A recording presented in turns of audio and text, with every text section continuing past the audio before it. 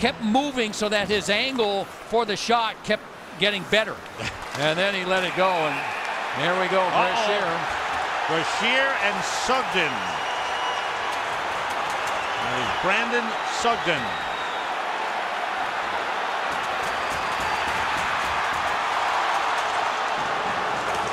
Uh, Brashear lunged and lost his balance.